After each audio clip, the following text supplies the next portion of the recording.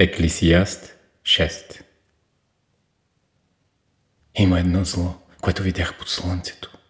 И то често бива между човеците. Бог дава на човека богатство, имот и слава. И за душата му няма оскудия в нищо, каквото и да пожелае. Ала Бог не дава нему да се ползва от това, а се ползва от него чужди човек. Това е суета и тежък недък.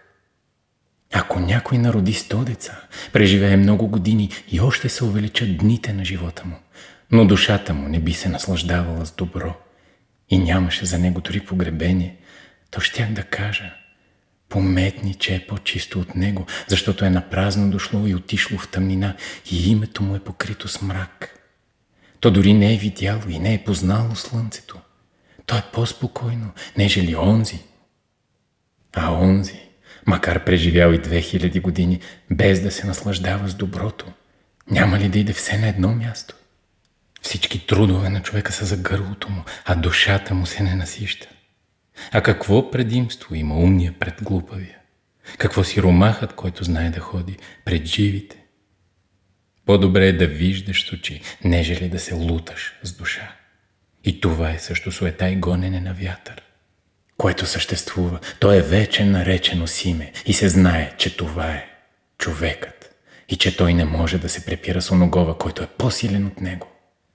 Има много такива работи, които увеличават суетата. Тогава, кое е за човека по-добро? Защото кой знае, кое е добро за човека в живота през всички дни на суетния му живот, който той прекарва като сянка? И кой ще каже на човека какво ще бъде след него? Под слънцето. Постоянството. Благословение от Бога. Имайте постоянство във всичко и не се обесърчавайте. Постоянството е пробният камък в живота. С него се опитват силите на човешката душа. Аз ще ви разкажа баснята за жабите. Две жаби живеели в едно блато, близо до къщата на един богат земевладелец. Веднъж пожелали да видят какво прави техния господар. Като влезли в къщата, видели един котел с мляко, което жената току-що издоила и поставила насред. Те надникнали да видят, що има в котела и паднали вътре. Започнали да обикалят наоколо, дано намерят изход да излязат навън, но това било невъзможно. Едната се изморила и помолила другарката си да слязат долу, за да си отпочинат, но другарката й отговорила да има предвид, че това е мляко, та ако слязат ще умрат. Обаче тя слязала и се удавила. Другата постоянствувала да обикаля, докато избила млякото и на повърхността се образувало масло, на което стъпила и излязла навън. Така и вам трябва постоянство, да образувате опорна точка и да стъпите на здраво, за да се качите в духовния свят. Често вие се заблуждавате, когато мнозина ви разправят за истината. Оставете всякой да говори каквото си иска. Всяко отделно нещо е истина за лицето, което казва. Вие гледайте истината, която е във вашето сърце. Какво ви говори? Не приемайте истини от всеки го. Христос ви е казал истината и от нея се ръководете в живота. Бъдете верни и постоянни на това, което имате, за да не ви пресаждат. Както може да се вземе пшеницата и да се сложи царевица, но все царевица ще поникне. Не може да е пшеница. Характерът на човека се определя от неговото постоянство. Сега, ако прочетете каквато и да било книга, първоначално мислите, че ще разберете истината. Но като я завършите, ще видите, че авторът е казал много работи, но самата истина остава скрита. Сами да си я намерите. Така и в духовния живот. Има работи, които не могат да ви се кажат. Вие сами трябва да ги почувствувате. Трябва да изработите известни качества, които ви са потребни за възприемане на истината. Научете се сами да работите. Та ако ви дойдат помощници, добре, но ако няма такива, Сами се съвземете за работа и то работа сериозна, а не безполезна. А когато почивате, тогава може да се занимавате с глупави работи. Всичките хора си имат своята нива, в която те работят.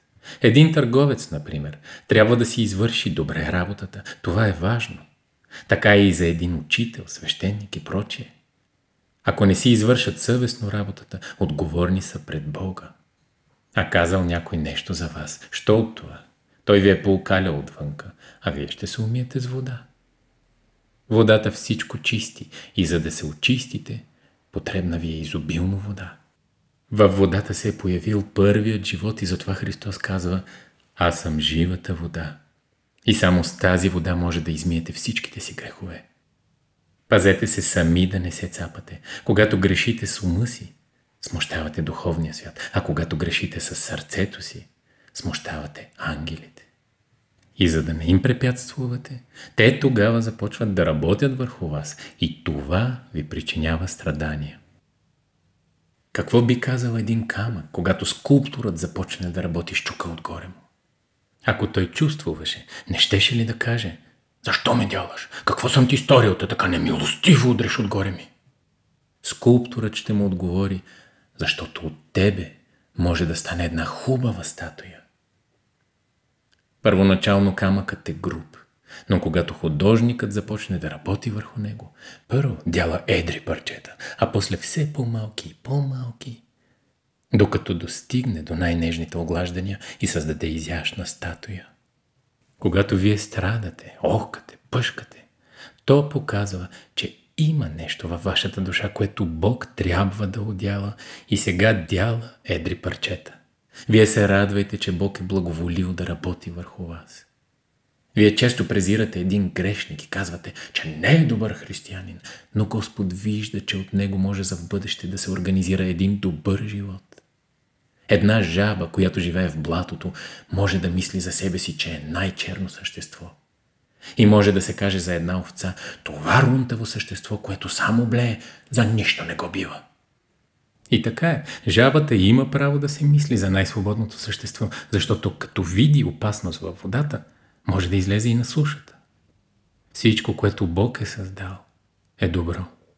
Той не гледа на нещата като вас, а вижда по-дълбоко.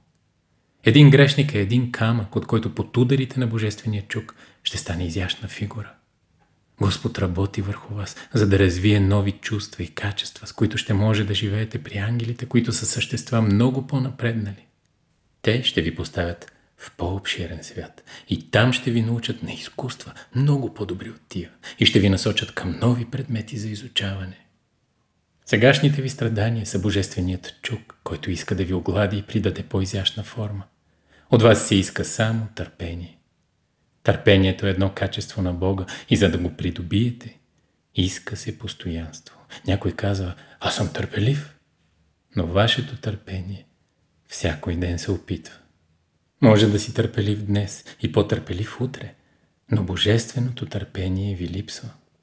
Господ търпи, когато хората му изпращат лошите си мисли и желания и той трябва да ги смъкне в корените, за да ги преобърне на тор. Вие се оплаквате постоянно, че имате страдания, но такива още не сте изпитвали. Сегашните ви страдания са както на едно дете, което плаче за своите кукли. Но когато порасне и срещне в живота по-големи, то се смее над първите си страдания. Ако имахте по-тъмни чувства, тогава щяхте да изпитвате по-големи страдания.